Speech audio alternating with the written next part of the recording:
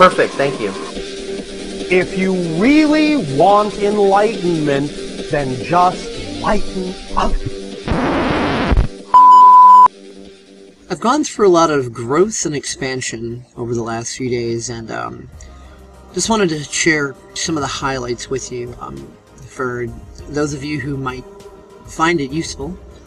Because obviously, for all of us who are going through our various lessons, there are others who are going through the same or similar, and we're on this lovely internet where we can share knowledge and insights and all of that good stuff, so, you know, may as well put that to good use, right? Um, my best friend Katarina Edwards, um, she shared a post um, the other day, which I, I find to be really insightful. Um, there's apparently um, this lady um, by the name of uh, Anais Nin, if I'm pronouncing her name right, um, someone from back in the 1930s or something, apparently some wise woman or some something like that. I've personally never heard of her, but I like the quote. We don't see things as they are. We see things as we are. Hence the title of this particular episode. And I've been having basically that sort of lesson um, pretty much reflected to me a lot in, in, in my life lately. And, um, you know, like, like most people, I'm the sort of person who, you know, through most of my life, you know, it hasn't exactly been the easiest in the world. I mean, society is neurotic and dysfunctional, and it, it teaches us how to be that, and, you know, so I think it's safe to say that most of us have dealt with bullying in some form, you know, through teachers or other students or what have you, and there's a lot of us who start getting into this pattern of feeling as if we're not worth very much, as if we don't deserve very much, because we keep seeing these reflections in our reality back at us all the time, you know. Shit and fan keep um, keep rendezvousing. And so, you know, we have sayings like, you know, if I didn't have bad luck, I wouldn't have any luck at all. Or, you know, the rich get richer and the poor get poorer. And, uh, no pain, no gain. And so on and so forth. We have all these self-sabotaging, self-abuse, self-berating, pathological, sociopathical, frickin' weapons of mass destruction that we use against ourselves. And we're trained to use them against ourselves, and this becomes the norm. This becomes what we get used to. And once we get used to, ever, uh, used to something like that, everything else just seems ridiculous. I mean, when someone is in that sort of a pattern, and a lot of us are there, some of us have, are no longer there, but have been there. And when we're in that pattern, the the idea of anything being easy, the idea of anything being joyful, the idea of, of good friends that we can trust, really trust, who care about us and we care about them, and good relationships, and, you know, just all this wonderful abundance that can be in life. You know, we, we see it as just this ridiculous, ludicrous, like, like pipe dream, you know, it's like someone starts talking about that, it's like, kind of drugs are you on? You realize that's not real, right? You know, gonna start talking about Santa Claus and the Easter Bunny next.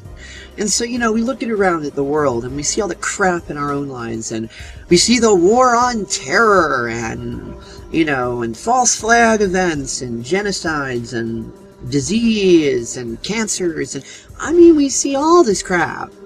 I mean, other than the crap that the mainstream media fills our heads with. I mean, we see it we see all this crap and we think that this is all the world consists of. It's not true. I mean, sure, there is that stuff in there I'm not, you know, in denial or complacency there. You know, I mean, there is all that stuff.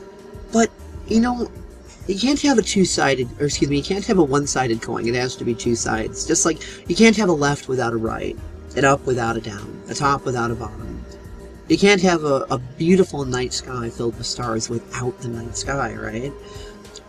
But the problem is, is we keep judging negative and dark as evil, and light and positive as good. Now, if we judge the negative prong on the car battery as being evil, and the positive prong on the car battery as being good, we'd never start the car. And when you look around during the day, and it's a beautiful day, and you think you're looking out seeing a, a, a, lit, bright, light, beautiful day, you're not actually seeing that. You're seeing just the right mixture of the light and dark that's compatible with your eyes, with your vision. If it was too dark, you'd be blind. If it was too bright, you'd burn your eyes out and you'd be blind. So it's that, just that right mixture, you know? And for always wanting to look for which ingredient to blame for the cake, when fault and blame is just an illusion, you know? I mean, is it the sugar's fault? Is it the flour's fault? You know? and it's just interesting. And so, when some of us start to realize the neurotic ridiculousness of this, and we start to become more objective and kind of zoom out and start getting rid of these good and bad quote unquote judgments, then we start thinking in concepts that start to seem ridiculous to a lot of other people. You know, like the idea that um, fertilizer isn't bad or evil. You can grow a garden with it. That fire isn't bad or evil. Sure, you know, if you touch it, you'll get burned, but there are ways to handle it safely that have very productive, you know, end results, like electricity, for example. But we get into these judgments of, of good and bad on things that are inherently neutral. And, you know, those manipulative sons of bitches who seek to control us, and I'm not pointing at a group. I'm pointing at just anybody who is of the mentality that seeks to control another. Judgments of something being absolutely good or absolutely bad is uh, imagine if, for example, you were going to fight an, an enemy in a battle, right? Think of it like a, a war situation. You're going to fight an enemy in a battle. What if, hypothetically, you could convince your enemy that its weapons that it was going to use against you, let's say you could convince them into thinking that those weapons are evil, and that to even handle those weapons at all is guaranteed that you're going to burn in hell for all eternity. Let's say hypothetically you were able to make the, your enemy who was going to attack you with these weapons somehow think that. Well, they'd drop their weapons and they'd make themselves defenseless, wouldn't they? And then you could just go in and shoot them all. Because they're thinking that to defend themselves is evil, and that weapons are evil. Well, you know, that's the way we look at fire. That's the way we look at negative polarity of energy. That's the way we look at corporations. Oh, fight the Illuminati, fight the corporations, the, the war on drugs, the war on this, the war on that. These people over here are good, these people over here are bad. No. We're all human beings, and we all have the right to our perspectives. It's neither good nor bad. We all have the right to our perspectives. And the trick is, is respecting that right within ourselves and the right others have to that. It's the lack of respect of that right because we've been so manipulated and society is so full of it and we are manipulated from little kids growing all the way up through school and all the way up into society to have these dysfunctional judgments and that we sabotage ourselves with them and that's why you know we're ruining the environment and you know crime keeps getting worse and so on so on everything about anything along those lines that you can say is because we're we're placing such judgments of, of good and bad on everything. You know, the road to hell is paved with good intentions, right?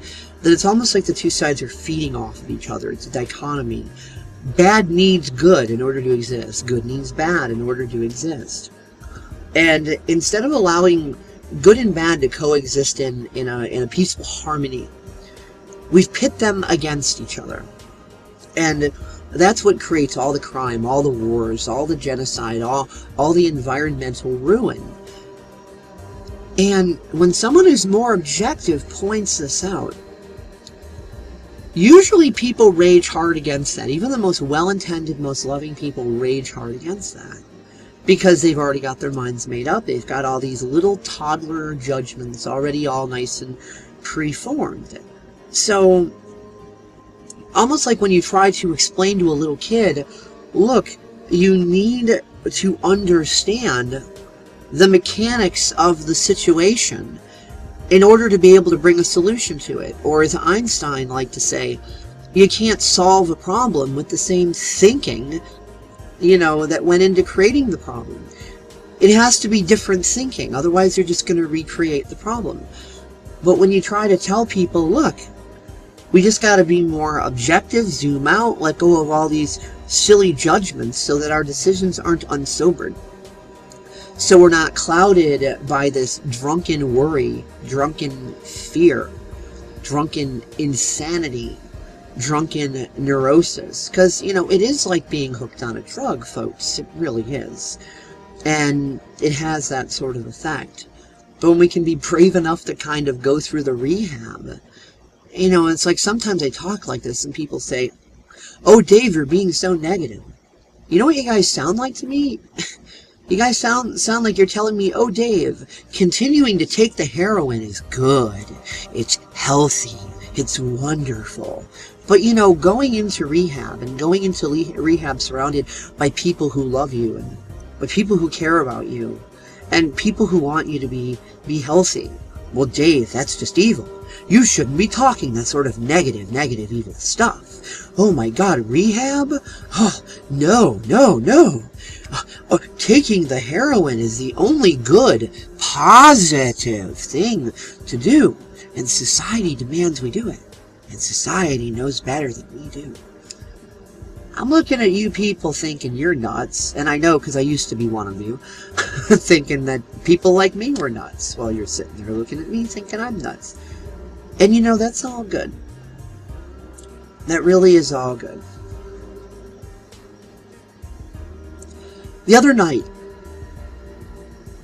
when me and my best friend Katerina were having an interesting discussion about this sort of stuff and about how we get so saturated into these belief systems that we're not worth anything, you know, we're unworthy, we're undeserving, and that anything other than suffering, hell, and misery is a pipe dream, it's not real. Um, we were talking about how there are those as they start to awaken into that more objective mind, they start to see, you know, the other side of the coin, that it exists just as validly as that quote unquote negative side of the coin. And with that acknowledgement, that starts to alter their thinking, which alters their choices. So their choices are a bit more sober than they used to be. And so the consequences of those sober choices, of course, is, you know, more abundance, more well-being, more happiness. They're starting to take a little bit of a different path. But part of their belief systems are still rooted in that old path, right? That old negative, self-sabotaging dysfunction. And what they used to be able to do is they used to be able to use manipulation to put themselves in a situation through their choices where the consequences reflected back to them are as such that they can blame the external, they can blame others, they can blame themselves, one, the other, both. And that validates their belief system. That validates, okay, life is shit, it's always been shit, it'll always continue to be shit. This is just the way life is. And, and people feel comfortable in their familiarity, their comfort zones. They get freaked out about the idea of stepping outside of their comfort zones. So now they're starting to make more sober choices, more wise choices, things that are leaning more into the idea of their deservingness and, and their worthiness and things like that. And then when they see it, they start to freak out as if they just saw like the pink elephant flying by or something. That shouldn't exist, but there it is anyway. So for a time, you know, it's, it's almost like drinking a can of Red Bull. They're on this high of, wow, I feel appreciated, I feel deserving, I feel worthy, I know that this is a true reality. And then they look at that other part of themselves that they've been used to, that's looking at that part going, that can't, that can't be! No, that's not true! That's impossible! Search your feelings, Luke. You know it to be true. So it's like they go through one of those sorts of situations, and though their hand doesn't get cut off like Luke Skywalker, they do start to fall down an abyss, such as Luke Skywalker did in the movie, in that sense. So they look at all all of this wonderful shit that's being tossed at them. And so they try to, to sabotage it. Because, you know, that's the method that they were always used to using in the past to get back that negative reflection, to justify to themselves that it's their fault, the other person's fault, or both, but needless to say, life is a miserable cesspool. That's the reality. So then they try, they try to sabotage themselves, but because they've made so many good freaking choices within their shifting, adding resistance onto their well-being actually starts to increase their well-being. Ironically, it's like it's like adding adding fuel to a fire. The fire starts burning brighter, right? Because in the past, they didn't see all of this better side of life as a real reality, so they never stepped into that reality. So seeing as they never stepped into it, you know, there was nothing there really for them to, to rage against, right? That that was just considered to be a pipe dream or a delusion, but now it's there, now it's a reality. Now they got something tangible to try to screw with. But the problem is is that things that are of those more wise choices and, and, and friendships that have been gained through those more wise choices are of a much higher integrity. So you got things like like love and, and compassion and, and rationality and objectivity and all these things on the you know better side of the coin, so to speak, that, that start to kick in that aren't so easily beaten down by the sabotage, you know? I mean it's kind of imagine a person that, that's used to living in, in a world of straw huts so they know that they can take their battle axe and they can rip through and destroy those huts and tear them to the ground with no problem. But now they're in the world of brick houses and steel reinforced concrete and skyscrapers and all that. But they've still got that battle axe. So they're trying to use that battle axe to take down those structures and it's just not working. The damage they do to them is incredibly minor, and they usually end up breaking their axe in the process of trying to, to do the nearly impossible. So they get all frustrated with themselves, they get all frustrated with their environment, they get all frustrated with everything. They put all this effort and energy into being frustrated, they repair their battle axe, they might even upgrade to a stronger battle axe. Maybe their their battle axe was um, iron with a with a wooden handle. Maybe they upgrade to a purely aluminum or, or maybe even uh, titanium battle axe or an aluminum battle axe with a titanium blade or something, you know, whatever. They upgrade to the stronger blade, the stronger axe. They're like, alright, motherfucker, round two. So then they try to destroy their abundance and all these good, more solid structures with that, and they get even more infuriated because they still can't do it. Granted, they did a tiny little bit more damage to it than they did the last time, but they still come nowhere close to taking it down. In the meantime, they've overexerted themselves, going crazy with this battle axe. They've they've twisted their ankle. They they've broken their their wrists. They've completely worn out their voice from yelling and screaming, infuriated so much. They keep draining their energy. They keep getting physically sicker.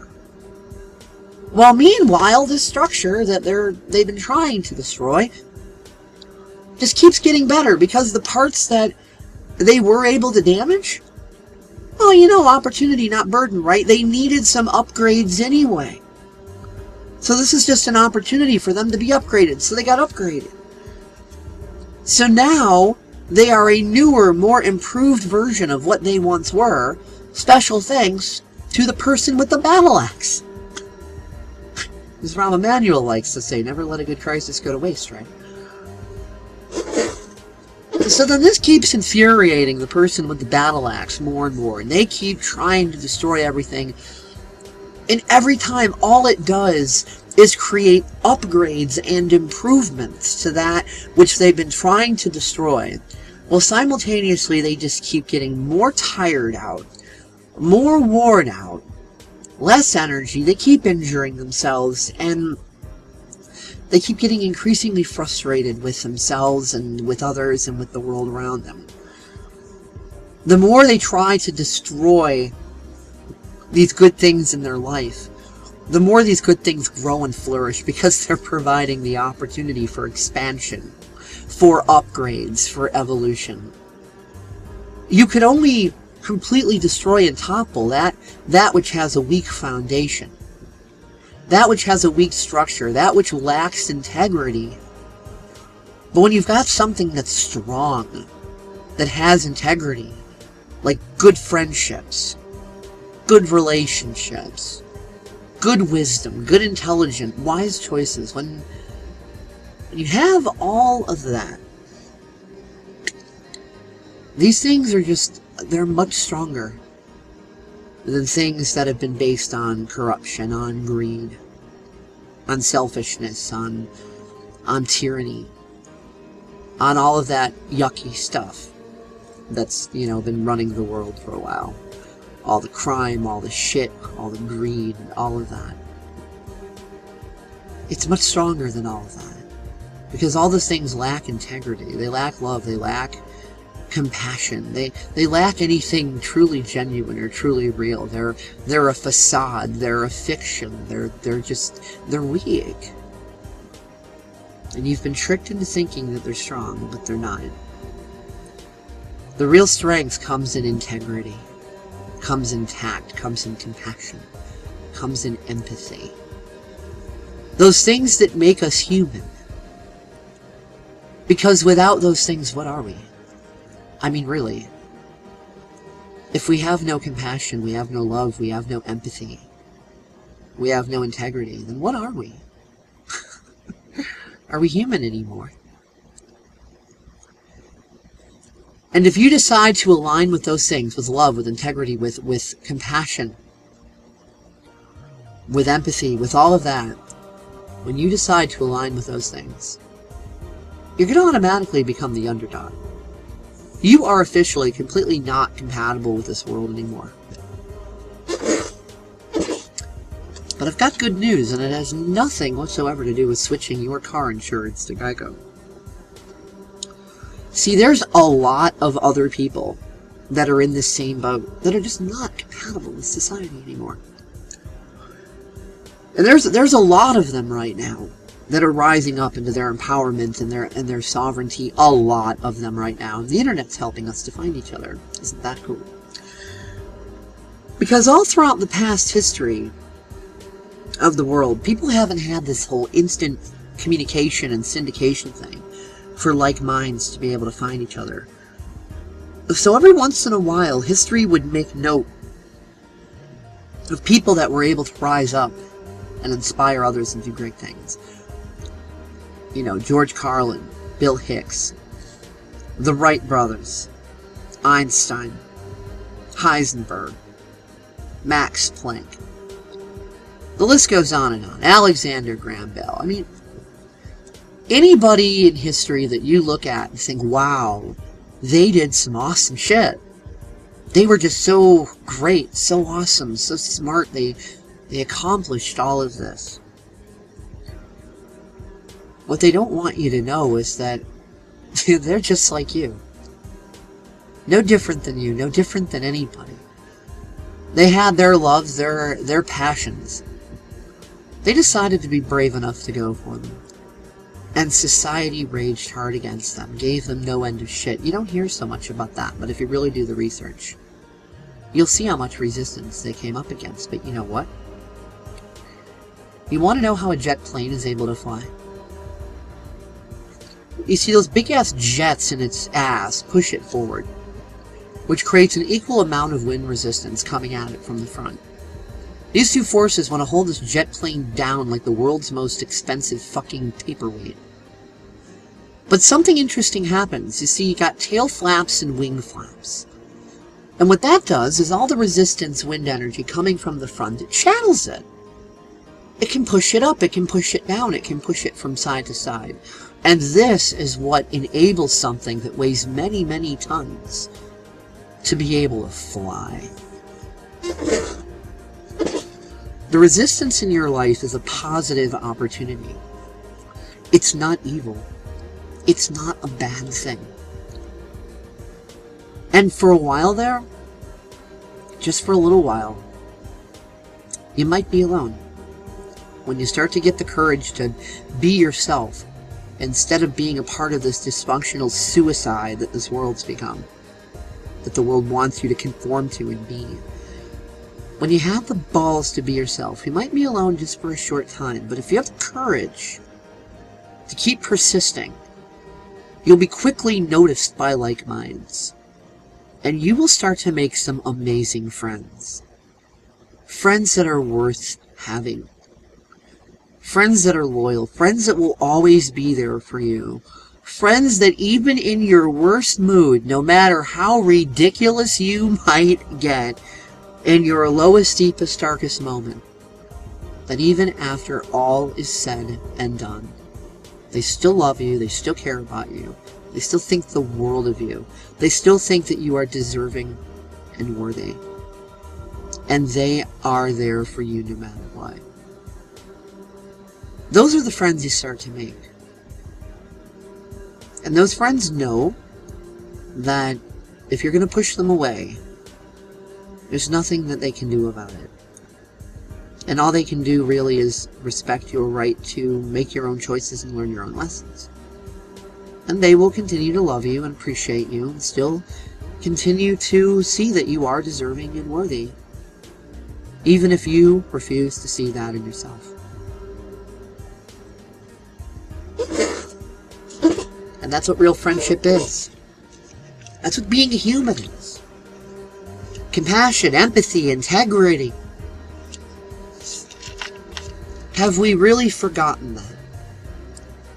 If you have, then tell me. If that's not what being human is, then what is it? What's the point of life? I can't force anyone else to have compassion, to have empathy, to have integrity, to be sovereign, to be empowered. I can't do that. I can't force that on anyone else, and quite frankly, I have no right to. But I can choose that for myself. And I can be an example of what that is, and be the change I want to create in the world, and inspire others, and usually piss most people off in the process, but it's all good the way this world is, it's kind of to be expected. George Orwell once said, the farther a society drifts from truth, the more that society will hate all those who speak it. Well, I'm speaking some truth, and society's drifted farther from truth than ever before. So this ain't gonna go over well for most of you.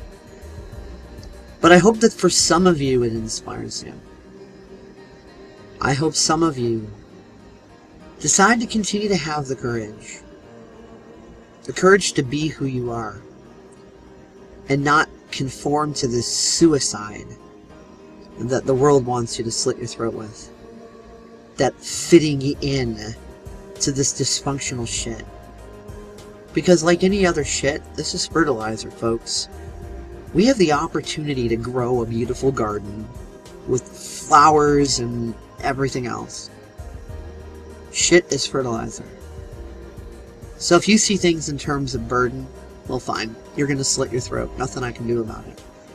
But if you see things in terms of opportunity, then you could take this fertilizer when shit and fan rendezvous. You can take this resistance like the jet plane. You can grow your garden. You can fly. We can make this world into a better place just by changing ourselves. By changing the environment that surrounds us by changing ourselves. So I hope this has inspired somebody out there, some of you out there, somewhere, somehow, someway. I guess that's all I have to say. Nothing fancy for this one. Just a logo screen. Just my voice. But that's all that's needed to be this time. I feel very liberated right now. And I have my friends to thank for that. I really do. That is all.